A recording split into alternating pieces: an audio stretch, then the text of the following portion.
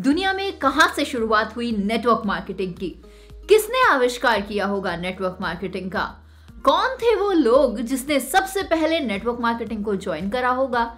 दुनिया की सबसे पहली नेटवर्क मार्केटिंग कंपनी कौन सी थी?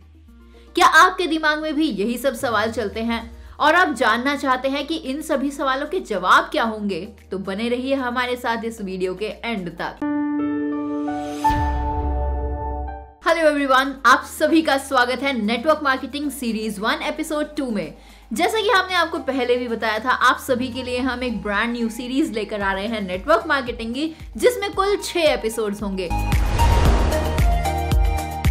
पहले एपिसोड में आपने जाना था that what is direct selling network marketing and multi level marketing और आज के हमारे इस एपिसोड में सेकेंड एपिसोड में आप जान सकेंगे from the history to the future of network marketing तो पिछले एपिसोड की जो हमने बात की थी, उसमें डिटेल्ड इन्फॉर्मेशन आपने जानी थी नेटवर्क मार्केटिंग और डायरेक्ट सेलिंग के बारे में, जिसका लिंक इस वीडियो के डिस्क्रिप्शन बॉक्स में अवेलेबल है, आप चेकआउट कर सकते हैं। आज आपको आपके सभी सवालों के जवाब इस वीडियो में मिलने वाले हैं। आज की ये वीडियो दो तरह के लोगों के लिए बहुत ज़्यादा इंपॉर्टेंट है। पहले वो जो नेटवर्क मार्केटिंग कर रहे हैं और दूसरे वो जो नेटवर्क मार्केटिंग नहीं करते।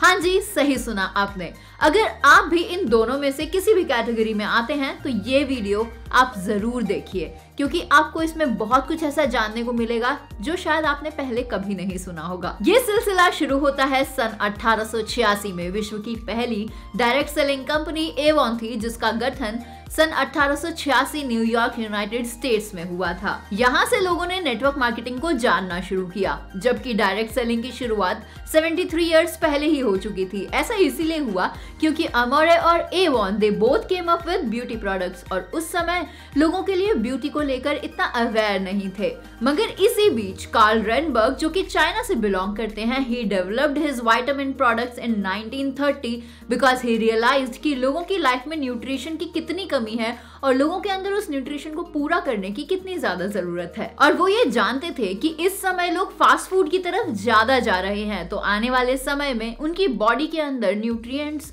वाइटामिन और मिनरल्स की कमी होगी। इस बात को ध्यान में रखते हुए उन्होंने अपना ही प्रोडक्ट डेवलप किया। कुछ समय की रिसर्च के बाद उन्होंने देखा कि यूनाइटेड स्टेट्स में लोग बहुत ज़्यादा फास्ट फ़ूड को प्रेफर कर रहे हैं बिकॉज़ उनके पास टाइम ही नहीं है खाना बनाने का और खाने को टाइम देने का। तो उन्होंने 1934 में डिसीज़न लिया कि वो अपनी कंपनी को कैलिफ़ोर्निया ले जाकर और ज़्यादा एक्सपोज करेंगे और उन्होंने उस कंपनी का नाम रखा कैलिफ़ोर्निया वाइटामिन लोगों को उनके प्रोडक्ट्स काफ़ी अच्छे लगे क्योंकि उनसे उनको रिजल्ट्स आ रहे थे और उनके प्रोडक्ट्स को काफ़ी लोगों ने अपनी डेली यूज़ के अंदर यूज़ करना शुरू कर दिया। शुरू के पाँच सालों के अंदर कार्ल रेनबर्ग ने देखा कि उनकी कंपनी की ग्रोथ दो रीजन से हो रही थी।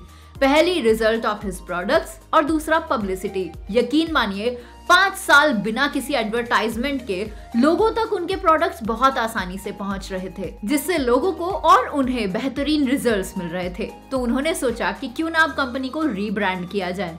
और उन्होंने 1939 में कंपनी का नाम चेंज करके न्यूट्रलाइट रख दिया। और साथ ही उन्होंने मार्केट में डायरेक्ट सेलिंग को फॉलो किया, जहाँ पर एक आम आदमी लोगों को रेफर करके प्रोडक्ट से एक अच्छा कमीशन और अच्छा पैसा कमा सकता है। तो उन्होंने डोर टू डोर सेलिंग को एक न्यू टर्न दिया, जिसे आज हम डायरेक्ट सेलिंग और नेटवर्क मार्केटिंग के नाम से जानते हैं। ली एस मार्टिंगर और William S Casselberry they are the first two people who became the exclusive national distributors of the Nutrilite company ये सिलसिला फिर आगे बढ़ा और एक आम आदमी को अच्छा मुनाफा होने लगा। करीब 10 साल के बाद कुछ लोगों ने न्यूट्रलाइट पर झूठे प्रचार का आरोप लगा दिया। FDA, US food and drug administration तक ये रिपोर्ट पहुँची और एफडीए ने एक्शन लेना शुरू कर दिया। मगर उसी बीच दो लोगों ने न्यूट्रीलाइट को ज्वाइन करा, जिनका नाम जे वैन एंडल और रिचर्ड डी वॉस था। ये दो ऐसे डिस्ट्रीब्यूटर्स थे जिन्होंने न्यूट्रीलाइट में रैपिड ग्रोथ की। मगर कुछ ही सालों में न्यूट्रीलाइट ने धीरे धीरे वापस अपने कदम ट्रेडिशनल मार्केट की तरफ़ बढ़ाने शुरू कर दिए। Jay Van Andel and Richard DeVos direct selling की पोटेंशियल को समझ गए थे और उन्हें ये भी समझ आ गया था कि किस वजह से आज न्यूट्रीलाइट वापस ट्रेडिशनल मार्केट की तरफ़ जा रही है। दोनों ने डिसीज़न लिया और 1959 में इंट्रोड्यूस करी द अमेरिकन वे और इस कंपनी ने एक नए तरीके से मार्केट में एंट्री की और इन्होंने ब्यूटी प्रोडक्ट्स को ना लाकर एक डिफरेंट तरीके से अपनी कंपनी को मार्केट में लॉन्च किया होम केयर प्रोडक्ट्स के साथ।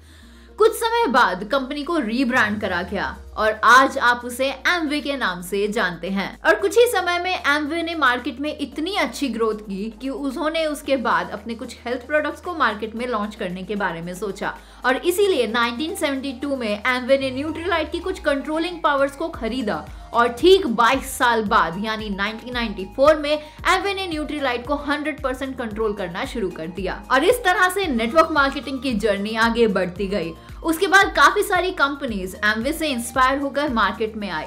एमवे ने बहुत अच्छी ग्रोथ की और एक टाइम बाद Amway becomes a multinational company और उसके बाद फिफ्थ में 1998 में एमवे लॉन्च हुई इंडिया के अंदर और इंडियंस के लिए ये एक बिल्कुल नया कॉन्सेप्ट था। शुरू में लोगों को कुछ समझ नहीं आ रहा था कि ये है क्या, लेकिन धीरे धीरे जैसे ही कंपनी के सेमिनार्स शुरू होने लगे, तब लोगों को पता चला कि एग्जैक्टली ये डायरेक्ट सेलिंग मॉडल है क्या, जहाँ पर आप आसानी से पार्ट टाइम करके कुछ पैसा कमा सकते हैं। तो कुछ लोगों ने बिज़नेस शुरू भी किया, और एमवे के डिस्ट्रीब्यूटर बनने पर आपको एक किट मिलती थी, जिसका तकरीबन प्राइस कुछ 4500 हुआ करता था, जिसमें आपको कुछ होम केयर और पर्सनल केयर प्रोडक्ट्स मिलते थे।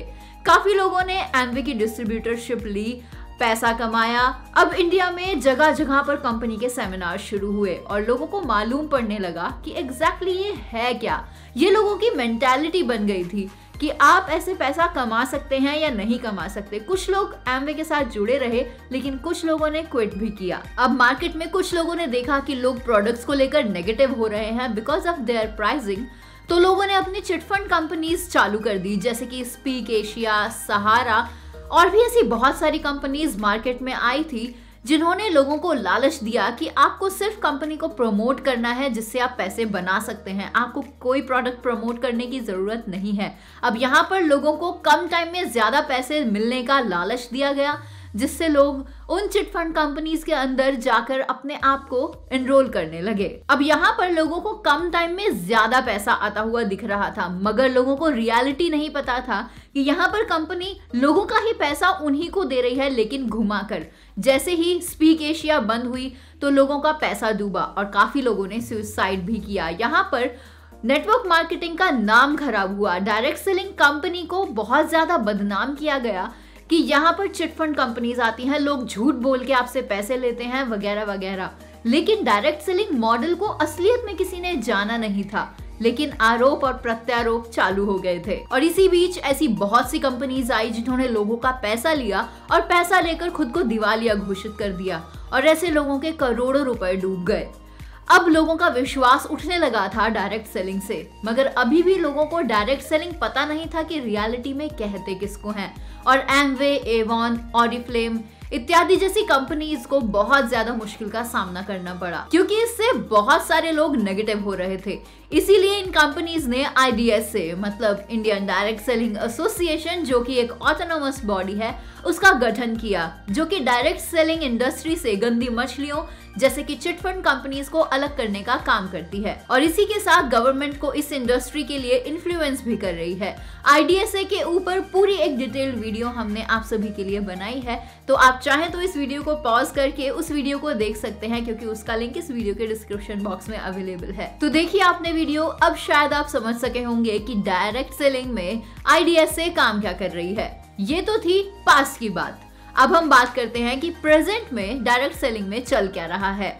जैसे कि आप सभी जानते हैं कि इंडस्ट्री के नेगेटिव और पॉजिटिव दोनों एस्पेक्ट्स होते हैं हर एक इंडस्ट्री के, और ये हर एक इंडस्ट्री का रूल भी है। और कुछ इसी तरह नेटवर्क मार्केटिंग इंडस्ट्री जो आज बहुत तेज़ी से ग्रो कर रही है, जिसे आज लोग बहुत अच्छे से जान रहे हैं, कुछ वैसे ही आज हर तरफ़ एक न्यू कंपनी शुरू होती जा रही है, और लोगों को लालच देती है कि क्लिक करिए और पैसा कमाइए, या सिर्फ़ आपको एक बाइक लेनी है और लोगों को बाइक दिलवानी है और आपको दिन दोगुना रात चौगुना पैसा आने लगेगा। क्या आपने कभी प्रैक्टिकली सोचा है कि ये सब पॉसिबल है या नहीं? आप सभी जानते हैं, लेकिन फिर भी लोग लोगों के बहकावे में आ जाते हैं। और इसीलिए गवर्नमेंट ऑफ़ इंडिया ने 9 सितंबर 2016 में ministry of consumer affairs food and public distribution of consumer affairs ने जारी की गाइडलाइंस ताकि इस तरह की कंपनीज़ को शुरू होने से पहले ही बंद करा जा सके। ताकि लोगों को अपने हितों के बारे में पता हो, ताकि लोग किसी भी कंपनी को ज्वाइन करने से पहले ये जान ले कि क्या कंपनी डायरेक्ट सेलिंग गाइडलाइंस को फॉलो कर रही है या नहीं। अब आप सोचेंगे, मगर आज भी मार्केट में ऐसी बहुत सारी कंपनीज़ हैं जो ऐसा काम कर रही हैं। तो जनाब, मेरा आपसे सिर्फ़ यही कहना है कि किसी भी कंपनी को ज्वाइन करने से पहले आप नीचे डिस्क्रिप्शन बॉक्स में दिए गई जो लिंक है, जिसके अंदर नेटवर्क मार्केटिंग की पूरी प्ले है आप उसको एक बार ज़रूर देखें और उन गाइडलाइंस को बहुत ध्यान से पढ़ें। और company as per guidelines rule follow कर रही है या नहीं, उसे भी ज़रूर जानें। अगर आप आज किसी कंपनी में काम कर रहे हैं जो कि गाइडलाइंस को फॉलो कर रही है तो बहुत बहुत मुबारक हो कि आप डायरेक्ट सेलर ही हैं। अगर हम ही गलत कंपनीज़ का साथ देते रहेंगे तो हमारी नेटवर्क मार्केटिंग इंडस्ट्री को कभी भी हम एक फ्यूचरिस्टिक इंडस्ट्री नहीं बना पाएँगे। तो ये हम सभी के हाथों में है कि हम अपनी इंडस्ट्री के लिए सही चुने और सटीक चुने। और अगर बात करें हम कुछ रिपोर्ट्स की तो इंडिया में डायरेक्ट सेलिंग इंडस्ट्री 2011 से 2012 तक ऑलमोस्ट डबल साइज़ हो चुकी है। दैट इज़ रुपीज़ 12,620 करोड़ और अनुमान लगाया जा रहा है कि नेटवर्क मार्केटिंग इंडस्ट्री का size 4.8 percent compound annual growth के रेट से बढ़ेगा। और 2021 में ये इंडस्ट्री बढ़कर रुपीज़ थर्टी करोड़ तक पहुँच जाएगी। और ये स्टडी असोचम ने की है। इसकी एक report the Times of India में भी पब्लिश हुई थी। उस आर्टिकल को भी आप चेकआउट कर सकते हैं। इसका लिंक भी हमारी इस वीडियो के डिस्क्रिप्शन बॉक्स में अवेलेबल है। यानी अगर आप इस इंडस्ट्री में हैं तो कॉन्ग्रेचुलेशन आपका भविष्य बहुत उज्जवल होने वाला है। सो so, आइए जानते हैं कि कैसा है फ्यूचर ऑफ़ नेटवर्क मार्केटिंग जैसा कि आप सभी जानते हैं कि India is a developing country in this world हमारा देश सकारात्मक तरक्की की तरफ़ अग्रसर है और जनरेशन धीरे धीरे बदलाव की तरफ़ बढ़ रही है। जैसे कि अगर हम तीन साल पहले की बात करें तो video calling is a very difficult task to do लेकिन आज की अगर हम बात करें तो ये करना बहुत आसान है। आज वीडियो कॉलिंग हर किसी को पता है कि कैसे की जाती है। आज फेसबुक पर हर व्यक्ति का अकाउंट है। हर किसी को पता है कि यूपीआई पेमेंट कैसे करनी है। क्योंकि आज प्लास्टिक मनी का जमाना आ गया है। आइए और भी अपडेट्स जानते हैं। इंडिया बहुत तेज़ी से ऑटोमेशन की तरफ़ बढ़ रहा है, जिसकी वजह से बहुत सारी जॉब्स तो क्रिएट होंगी, लेकिन बहुत सारी जॉब्स खत्म भी होंगी। बैंकिंग सेक्टर में H D F C and Canara bank robots को लॉन्च कर चुकी है अपने बैंक्स में। अगर आप दिल्ली से हैं तो आप कनॉट प्लेस के बारे में तो जानते ही होंगे। वहाँ पे आप Candi bank by Canara bank वहाँ आप विज़िट कर सकते हैं, जहाँ पर कैंडी नाम का एक सॉफ्टवेयर है जो कि रॉबर्ट है, वो आपको असिस्ट करेगा। ये सिर्फ़ एक एग्ज़ाम्पल था। आइए एक और एग्ज़ाम्पल देखते हैं। मारुति सुजुकी ने इन्वेंट की है ड्राइवरलेस कार यानी आपको आने वाले समय में कार्स में ड्राइवर नहीं मिलेंगे। अगर आप देखना चाहते हैं तो मारुति सुजुकी ड्राइवरलेस कार जिसका लिंक भी मैंने आपके लिए इस वीडियो के डिस्क्रिप्शन बॉक्स में डाला है, आप उसे देख सकते हैं। ऐसे और भी बहुत सारी इंडस्ट्रीज़ हैं जो ऑटोमेशन की तरफ़ जा रही हैं।